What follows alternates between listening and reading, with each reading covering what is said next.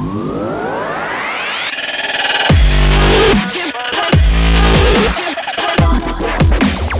Hey folks, welcome back. In this video we're going to go over how to measure the acceleration of an object down a slope. Now this experiment was one you would have done at National 5 level, so you should be familiar with it. Let's get started. Okay, so measuring the acceleration of an object down a slope is one of the compulsory experiments that the SQA say you have to be able to do and that you have to be able to describe for the exam.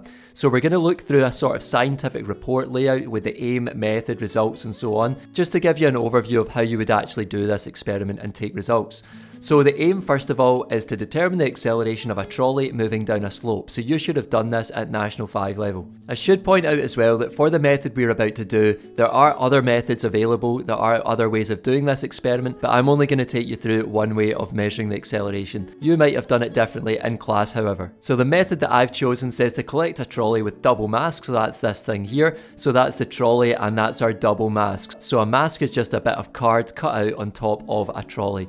And we also need a ramp, this thing here, pile of books to prop up the ramp, a light gate over here, a clamp stand to hold the light gate, we've not shown that in the picture, and a computer timer, so this thing over here, you might use a TSA timer in class, and a ruler as well to measure the length of the masks on the trolley. You then want to set up your apparatus as shown in the picture. So notice that we're only using one light gate in this one because we've got a double mask. And looking at the steps for the method, it says first of all, measure the lengths of the two masks, the cards, using a ruler, and input these to the computer or the timer. And usually the timer or the computer, whatever you're using, if it's a TSA timer, should allow you to input your lengths of the mask into it.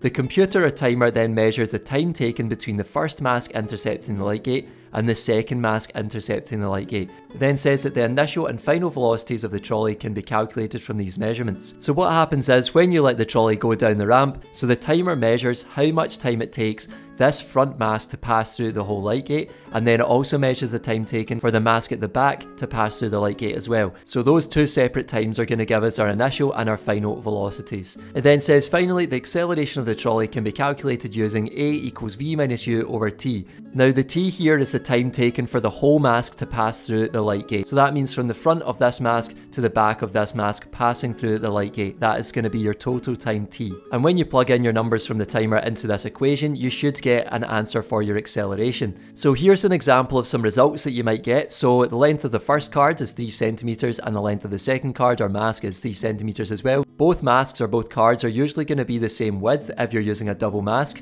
And examples from the timer here, we've got initial velocity of 1.04 meters per second, final velocity of 1.12 meters per second, and a time of 0.0651 seconds. Now when you put all that into your equation here, you get 1.12 minus 1.04 divided by your time of 0.0651, which gives us an acceleration of 1.23 meters per second squared. So that's an example of how you would measure the acceleration of a trolley down a ramp. And as a brief conclusion, it says here that the acceleration of the moving trolley in this example was found to be 1.23 meters per second squared. Now remember that I've only shown you one way of doing this, but you might be doing a different way in class. So it says here, acceleration can also be measured using a trolley with a single mask and two light gates. So what we used in this example was a double mask and a single light gate, but it can also be done using a single mask and two light gates instead. Now I should also point out that the timer or computer that you're using to input your data might also have the setting or the option to allow you to simply just measure your acceleration without having to actually put numbers into the formula. So that's actually a quicker way of measuring the acceleration of an object down a slope. That's all for this video guys, I hope you found it useful. If you did, give it a thumbs up, subscribe and I'll see you in the next one. Take care.